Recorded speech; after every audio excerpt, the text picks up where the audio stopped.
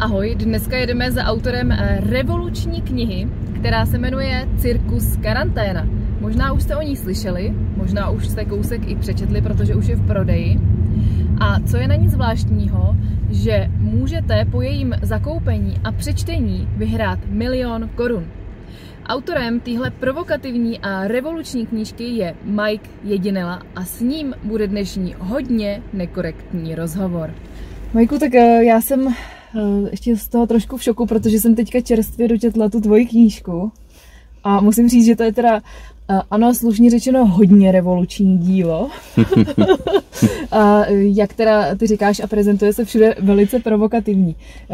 Řekni teda, v čem, v čem je to hlavně revoluční pro tebe? Co tam tak, je, co ostatní knížky nemají? Pro mě revoluční to je zejména v tom, že se tam mísí spousta témat, která většinou jsou samostatně v jiných jako uh, dílech a já jsem je skloubil dohromady. To znamená, dal jsem tam vlastně kus svého života, je tam nějaká etapa, řekněme desetiletá, kde je to o, o hodně jako o cestování, protože jsem mm-hmm. pracoval, podnikal a žil na třech různých kontinentech. Jsem si všimla, potápil se. Potápil jsem se, pracoval jsem jako potápič v Tajsku, pak jsem taky působil nějakou dobu v Indii, žil jsem v Americe, podnikal v Americe a ta, řekněme, nějaká ta revoluč, revolučnost v té knize je i to, že jsem tam hodně zapojil jako témata jako sexu, politiky, takového jako lifestylu a především jako pravdy. Jo? Říkají lidé, kteří tu knihu četli, že to je vlastně jakýsi, jakýsi vox populi těch lidí, kteří jsou dneska sticha, jelikož nedostávají tolik prostoru v těch sdělovacích prostředcích, které publikují. No, je pravda, že to, co ty tam píšeš eh, v některých těch, eh, těch místech, to jsou věci, na které se lidi bojí i pomyslet na to, že je třeba jako napsat a ještě veřejně vydat v knížce. To...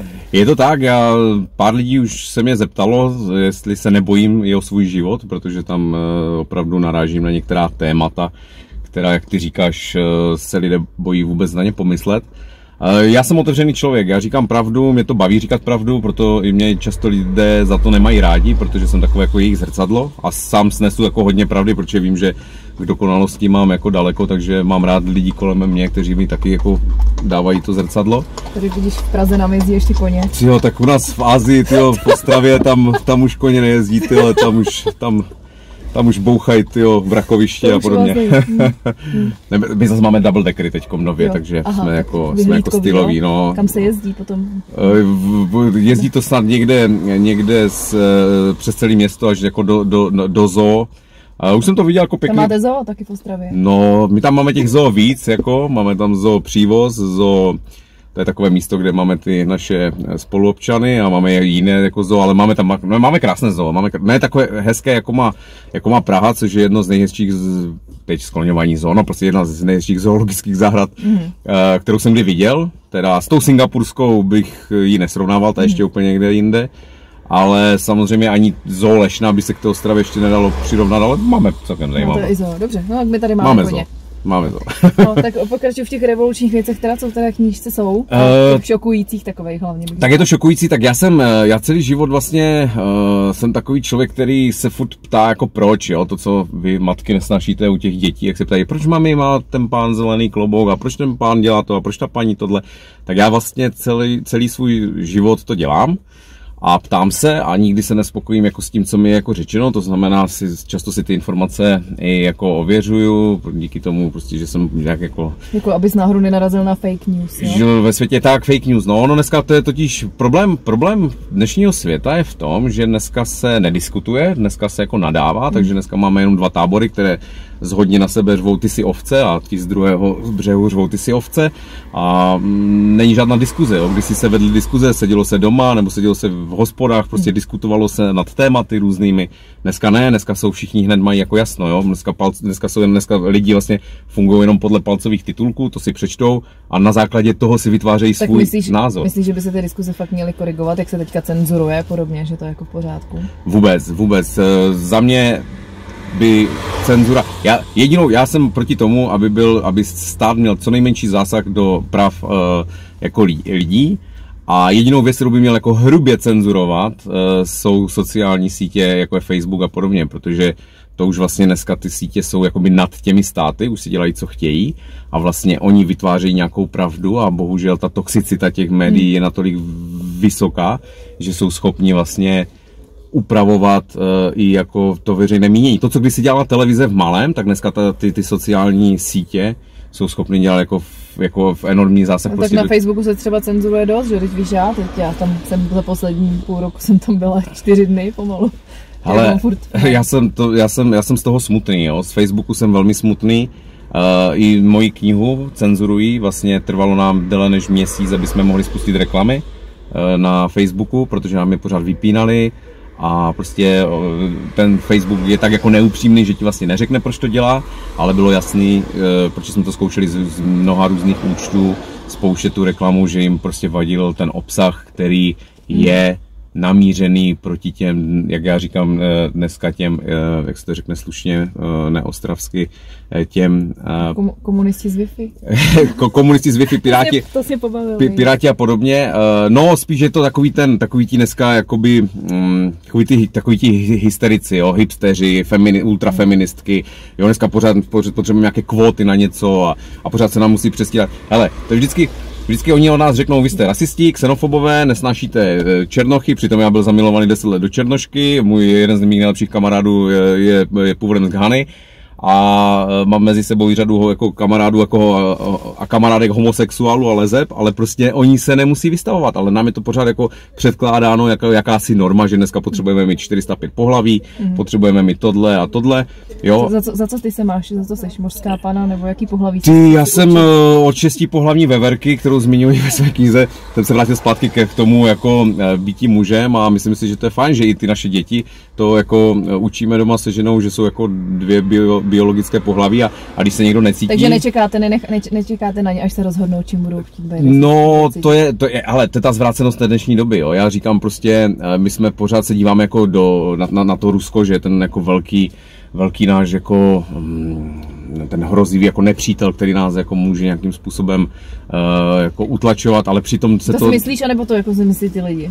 No to si myslí, to si myslí lidi a já si myslím to, že, nebo já to vím, že ten, že ten, že ten jako velký jako problém přichází jako ze západu, jo. Podívejme se dneska na Kalifornii a v Kalifornii to, to všechno jako vzniklo, že jo.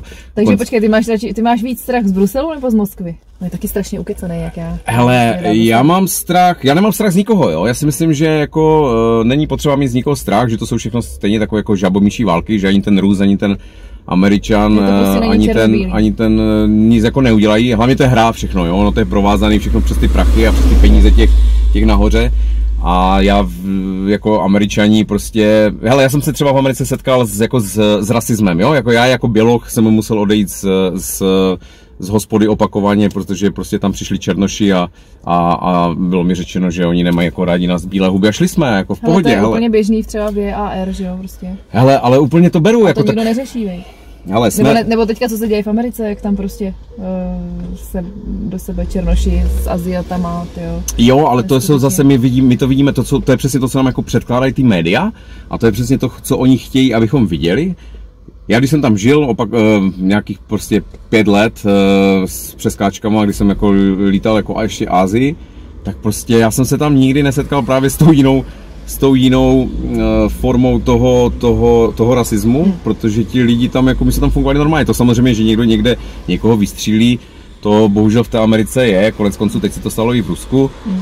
Je to v těch velkých zemích, kde jsou ty zbraně přístupné, tak si vezměme to, že Amerika, Spojené státy mají nějakých 320 milionů obyvatel, plus asi dalších podobné množství jako přistěhovalců. Vteřinu, já musím asi uhnout, tady paní nezaparkuje, tak já jí pomůžu. Takže v té, v, ta Amerika prostě eh, je dneska v takové situaci, kdy nám prostě nám se předkládají ty ty obrazy toho, že vlastně se tam něco jako děje strašného jako v té, v, té, v té společnosti, ale ono to tak až zase strašný není, akorát hmm. ty média to prostě umí tak podat a, a já když jsem tam byl prostě těch pět let, a, tak jsem nikdy jako nějak nezažil extra nějakou jako hrůzu, jo, takže Hmm. Ale je to obrovská země, jak, jsem, jak říkám, no, je tam 320 milionů obyvatel, více než půl miliardy uh, jako registrovaných zbraní, tak těch neregistrovaných tam bude tak nějak jako podobně.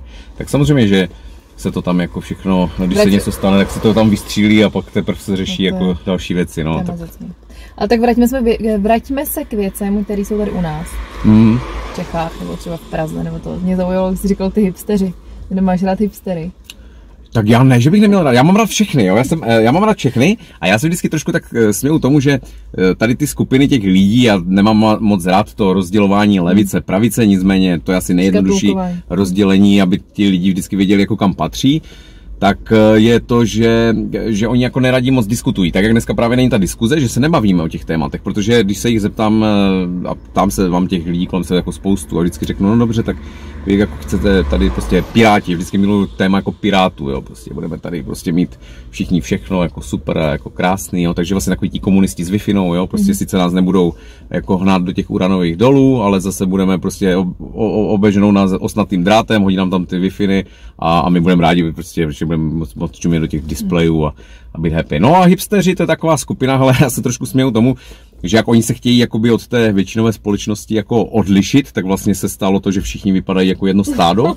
Všichni ty flanelové košile, ti chlapi ty vyholené hlavy s těmi fousy prostě, no, tak mi nerostou, takže já jim závidím, ale oni ty fousy prostě vypadají jak dřevorubci z Kanady, vidí v životě neviděli ani smrk, ani pilu, ani prostě nějakou pořádnou tu, ale a chodí, mají ty vyhrnutý jako nohavice a, a, a tak a pijou tu kyselou, super kyselou kávu z těch jako to, to, to, Zelených semínek z nějakých. těch zelených semínek, no a prostě jsou... Ale já ti tady můžu tady kousek Holešovicích, tady přímo doupě hipsterský. Tam, Jo, tam nedostaneš pivo do ničeho jiného, než Ale tam, když se na mě, ale tam, když se na mě podívají, tak myslím, že tak, tam, tam mě ani nepustí. Jako. Mě asi taky ne, ty. No já myslím, že tebe, ty jsi profláknutý uh, obličej, tebe tam nepustí a mě už, mě už vůbec ne, no. No, tak jo. Ale mohli bychom jim tam rozdat uh, zdarma knihy, aby se poučili o tom, jak ten svět dnešní funguje, no.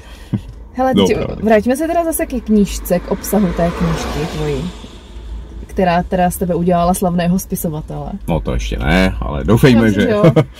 Ale chceš, aby to v tom povědomí bylo spíš jako kniha plná sexu, něco jako 50 odstínů šedi, což už o tom i spoustu lidí jako prohlásilo, a nebo spíš jako politická kniha, nebo trošku obojí. Já myslím, že každý si tam najde to své, jo? že prostě už to četlo pár, řekněme, stovek lidí, teď vlastně dneska se to zaváží do, do všech knihkupectví po celé České republice, takže se to, to už dá te, sehnat téměř jako v každém koutu naší země. A ta kniha je tak zvláštní, že my když jsme hledali vlastně s distributorem, do jaké, do jaké skupiny nebo do jaké kategorie, jakého žánru tu knihu zařadíme, tak ona je tak obsáhlá, tam je toho tolik těch témat, že jediné, co bylo, tak gulášová polévka prostě a kuchařka.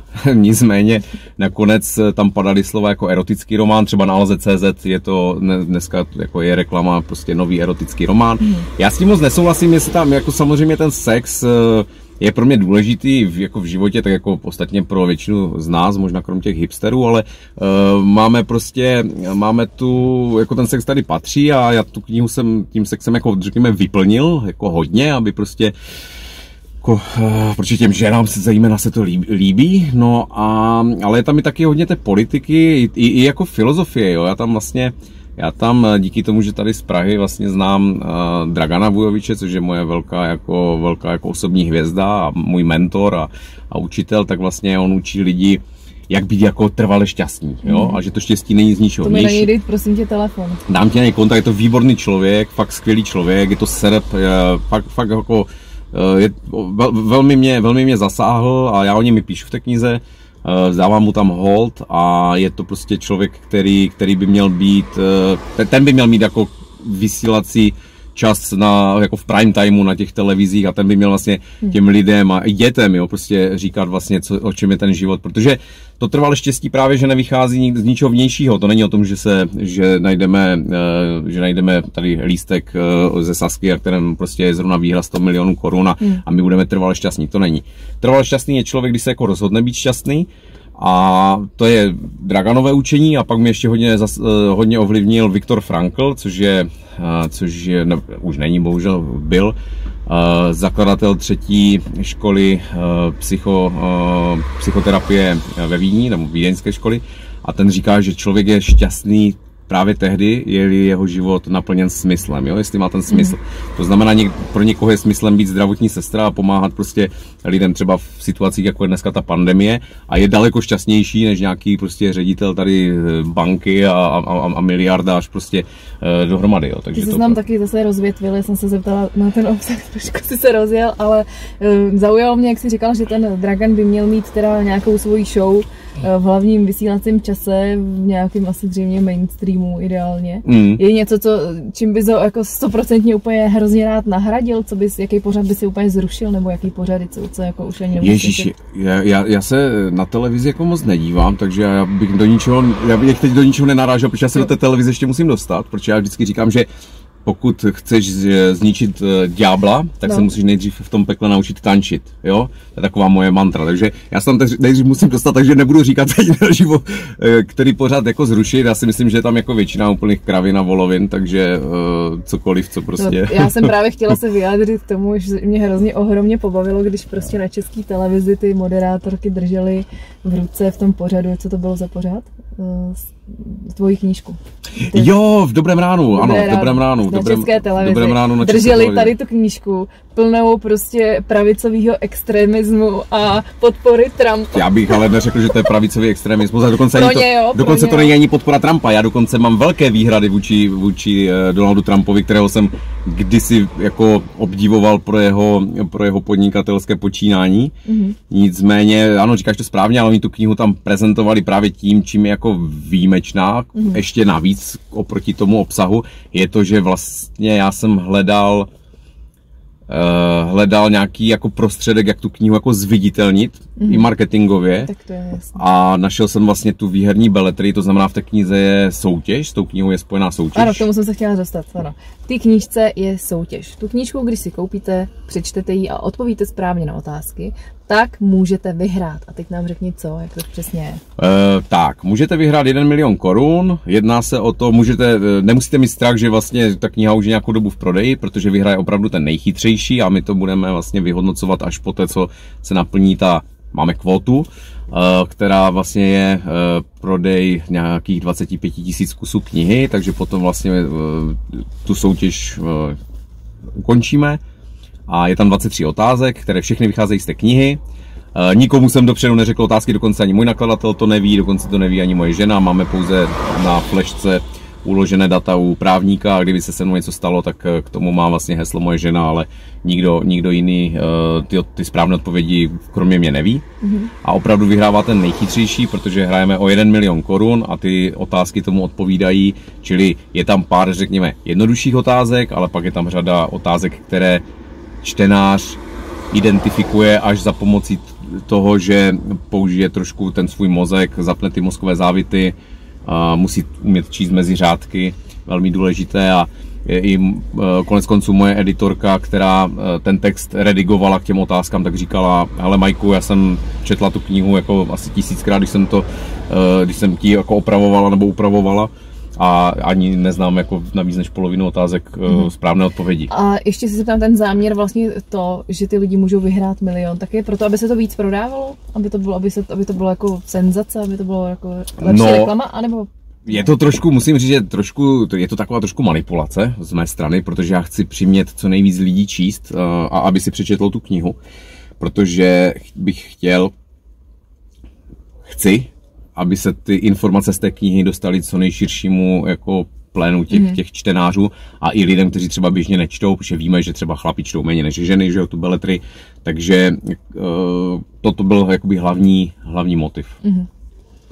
No a ještě se zeptám, ne, nemůžu se nezeptat, jak právě jsme říkali, že to je teda plný sexu a takových těch jako věcí, o kterých by se lidi siděli i mluvit, na tož psát, ještě veřejně něco, vydat o tom knížku.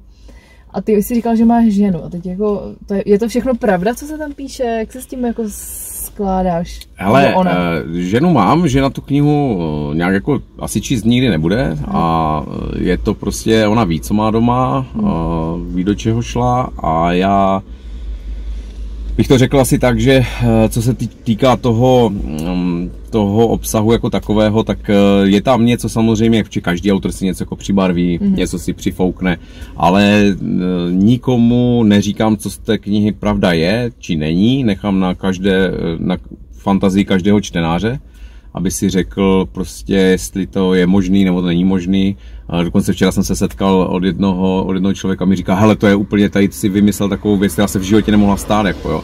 Hmm. Uh, a to se zrovna stalo. A ta se zrovna prostě stala, jo. A on říká, hele, my jsme byli na tolika jako veletrzích a nikdy se tam jako nikdy neporval jako s ochrankou. Já říkám, vidíš to? A já zrovna jako jo, jo. Takže jsou tam takové jako hmm. docela zajímavé, zajímavé jako věci, takže to jsem prozradil třeba, že to, to pravda je. Aha, tak, no tam, až... se, tam je hodně rvaček, taky musím říct. Což jo, tak, teda taky líbí. My jsme, my jsme, my jsme z té Ostravy mm-hmm. a my tam v té Ostravě víc používáme facky než rozum často. To je dobře, je to rychlejší. Je to, čas, je to rychl, no, já bych řekl, jak on není čas pičo, no, jak se říká. Ale, ale ne, tak uh, celý život prostě jsem žil tak jako v nějakých prostě těch rvačkách a já jsem o pět let, nebo mám o pět let staršího bratra, který byl takový jako street fighter a všechno si jako na mě doma cvičil a já jsem si to pak cvičil na svých spolužácích, no takže takže prostě jo, ty rvačky mě provádějí celým životem a i MMA, které já miluji, dneska už jsem starý samozřejmě, ale baví mě to jako trénovat a, a jsou tam i otázky z, i z tohoto prostředí. Takže jak říkám, v té knize si najdou i ženy, i muži, prostě to své a myslím si, že tím tak. A dokonce si říkal, že to četl uh, tvůj otec a tvoje babička s dědečkem. To no, to je, strašně, to je strašně zajímavé. To je strašně zajímavé, že to... Mě to... zajímá, jak oni se k tomu staví, když tam, mm. zejména třeba, když tam popisuješ jako ty detaily z těch tvých... Uh, já to nevím, jo, já to nevím. Jako moje máma, čte to i moje máma, čte to tá, ta, takhle, máma to čte, říká, že to jako vždycky musí jako rozdýchat vždycky kapitolu, pak si dá jako týden o, jako co, co musela nejvíc jako třeba rozdýchat? Tak ona, jako, ona, řík, ona mi říkala, že vždycky všechno jako tušila, ale že nikdy jako nevěděla, že to jako třeba bylo ve skutečnosti. Ale teď ona si to samozřejmě umí v těch svých asociacích dát jako do, do, jako do, těch, do těch srovnávacích svých jakých jako vzorců, kdy si řekla, aha, tyjo, tak tady jsem si to myslela. Podle mě jako ji nejvíc šokují ty drogy, které, které tam probíhaly a, a samozřejmě asi jako já si neukážu představit, že by můj syn nebo dcera někdy napsali knihu takovou a já bych ji četl, protože to je, jak říká můj otec, otevřená spověď. To je jako, deníček takový vlastně. Až jako je, na kost. Ten se neotvírá, že jo, dě, dětský. A, ten, a tam právě jako je to, je, je to fakt jako až na kost, svlečení jako se hmm. do náha, to znamená, právě. kdybych náhodou šel někdy do politiky, tak já vlastně jdu úplně v pohodě, protože o mě všichni všechno ví. Ty Dokonce... jsi si sám na sebe udělal kompro. Já jsem si sám na sebe udělal kompromis, takže všichni ví, jestli ho mám jako doleva, doprava. jako, prostě je tam, já, je tam... I centimetry tam popisuje. No, tak, a, tak ty jsem si mohl si přifouknout nebo podfouknout, že jo, ale Jo, tak eh, nevím, jak se na to dívají. Musím říct, eh, čte to moje 86-letá babička, můj 86-letý dědeček a zatím se mi k tomu nevyjadřuju, vždycky jenom tak řeknu, řeknu, tak co kniha, jak se vám líbí a oni, hmm, zajímavé, zajímavé. Chudáci, ty jim dáváš teda. Já jsem se ptal jejich eh, dětí, čili mých rodičů, jestli jim tu knihu mohu, mohu dát. A oni mi řekli, že už jim bylo 18, tak je to na nich. Mm-hmm. Uh, plánuje se uh, teda i audio kniha, že bude? Protože lidi, lidi jsou prostě, ty říkáš číst, číst, jsou líní, že je to tak, ta kniha je celkem obsáhlá, má to 382 stran celkem jako hm, hustého textu, což uh, byl i takový jako můj cíl, aby ta kniha zase nemě, nebyla jako prostě... Aby neměl nudný no, fáze. aby nebyla jako moc, no, a hlavně aby nebyla zase jako moc rozsáhlá, protože kdyby pak přišli na ty, těm pultům tí čtenáři a viděli tam od prvního autora prostě nějakou jako, jako, jako šoguna prostě téměř tisící stránkového, tak se ho asi jako těžko koupí. Uh, takže audioknihu určitě plánujeme a už jsme, už dokonce plánujeme a už jsme i v procesu vlastně překladu té knihy do angličtiny, což je strašně zajímavý mm. proces a strašně mě to baví v tom kontextu, že jak já tam používám vlastně ten jakoby český humor a ty české koreály a tak, tak eh, teď se to jako překládá do té angličtiny a mm, takže máme tam takové, ty, jak říká můj eh, překladatel Mike, máme tam takový oříšek, první, dívčí vlaz na žaludu, jak to přeložíme. takže Takže to teď to jsou takové věci, jo, tak eh, a je to super, těším se na to. To je hned na začátku někde. To je. je to, to je hned v první, v první kapitole. Ty to ještě toho moc přeložený nebo? Uh, tak my jsme teď začali, jo, my jsme teď začali vlastně každou kapitolu jako no, jak přeložili teda nakonec?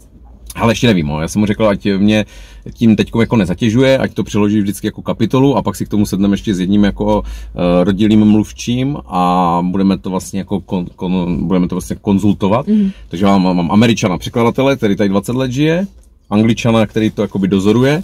A teď jsme se museli třeba vybírat, jestli ten Mike jako bude vlastně američan nebo angličan, že já jsem nikdy neřešil, jestli to budeme překládat jako anglickou angličtinu nebo americkou angličtinu. Mm-hmm. A nemůže to být Čech? On je jako Čech, ale je vlastně jako, jak, je jako globální, nebo jak jsem globální, když bych to neznělo blbě, tak eh, je to prostě, pro mě, mě je blíž ta jako americká angličtina, než ta, než ta britská. Já taky, prej, hele, já po čtyřech pivech prej mám výborný New Yorkský přízvuk. New Yorkský akcent, hele, já, já, já jsem jí Jak říká ta Mm. voda, water. proto by jsme, proto by jsme, eh, my, já mám blízko k Texasu, já jsem vlastně žil v Houstonu a kolem Houstonu a, a Texas jako miluju a to jsou právě, jim zase říkají právě teď New Yorkčané, taky, taky jako američtí pražáci, jim říkají, že to jsou jako, to jsou ti redneci, že jo, to jsou Mhm. ti, to jsou ti, uh, to jsou ti ostraváci. Mhm. Jo, takže proto ta Ostrava Houston, mě, mě tam, já, to, já jsem tam viděl okamžitě jako tu, eh, to, to spojení a, a, a, a miluju Texas, miluju Texas. O tom tam je taky hodně. Je to, je, to, je to tam hodně, takže i proto americká angličtina. A uvidíme, snad to bude, snad to bude úspěch. Jako, slibujeme si o toho hodně s nakladatelem, i s lidma kolem, tak uvidíme. No nejdřív musíme uspět v Česku, protože český trh je velmi konzervativní, tak uvidíme, jak kniha bude přijatá tady. Uh, já tě zeptám, tam ještě v jednu chvíli právě v té Americe se odehrávala taková věc, že se tam jako ovlásek unikl toho, že- tomu, že ti mohl někdo uh, zastřelit při té výhře v tom. To bylo, to bylo v Portoriku, to bylo Aha. v Portoriku, což je součást Ameriky, ale je to vlastně, je to vlastně už Karibik, že jo? Mm. A to bylo, když jsem šel tehdy hrát do toho kasína uh, poker, nechal No. jsem ženu s dětmi na, na hotelu, a protože já jsem vášnivý hráč pokru a, a, tak jsme tam, a píšu tam vlastně i v knize o tom, jak jsme tam hráli jako z politiky a takhle. Tak eh, to se stalo, no, prostě byl jsem tehdy jako, trošku jsem se připil a, a hrál jsem tam proti místnímu maf, mafiánovi, který, který, kterého jsem takzvaně, jak se říká v terminologii naší pokerové, jsem ho takzvaně posekal, to znamená, při- doskočil mi něco, co, co mi doskočit jako Ne. mohlo, ale, Ale nebo ne. respektive nemělo, ale, ale, ale mohlo, protože pořád uh, ty karty jsou jakási jako, tam hraje pořád nějakou roli uh, to štěstí, nebo Hmm. ten a štěstí, štěstí prostě ne, neutečeš, no a já jsem tam vyhrál tehdy celkem jako slušný balík peněz. Odcházel jsi s igelitkou. Odcházel jsem s igelitkou plnou peněz, ale byl tam, eh, ale ten, ten, ten maf už tehdy jako zmizel a mi právě přísedící veterán, teda veterán, on ten kluk byl tehdy mladší než já, mi bylo tehdy nějakých 35 a mu mohlo být tak 28, 29. Měl oko, byl to prostě veterán z, z války, prostě v, říkal, že byl v Afganistánu i v Iráku a, a prostě přišel oko, dokonce by si mohl končetinu a tak, no to je jedno. Uh, tak ten mi říkal, hele, běž, objednej si taxíka, já ti to přinesu ty peníze, což se jako běžně nedělá prostě, mm. uh, že by to někdo vzal a říká běž, protože jinak jako se nedožiješ, jo. A v Portoriku opravdu tam chodí Uh, tam chodí uh, lidé normálně s viditelně jako zbraněma prostě, uh, tam když se večer, jo, když se setmí, tak to je prostě, to je divoký západ. Mm. To věřím. No tak uh, asi všechno. Já myslím, že to je obsáhlý docela. Že jsme řekli, Super, jsme super. Řekli všechno. Já moc děkuji teda ještě jednou za pozvání, uh, jsem rád, A- že Držím palce, ať jsi teda světoznámý spisovatel a ať se to všechno uvidíme, podaří. no, uvidíme. Doufám, že mě pak ještě budeš znát, že nezapomeneš, že jsem tvoje kámoška. Přijdu kdykoliv, přijdu budeš- kdykoliv za tebou do auta a Slyšíte to, jo? kdykoliv Slibujem. ti udělám, udělám uh, Rozhovor. rozhovor. Tak jo, díky. Tak jo, tak se měj.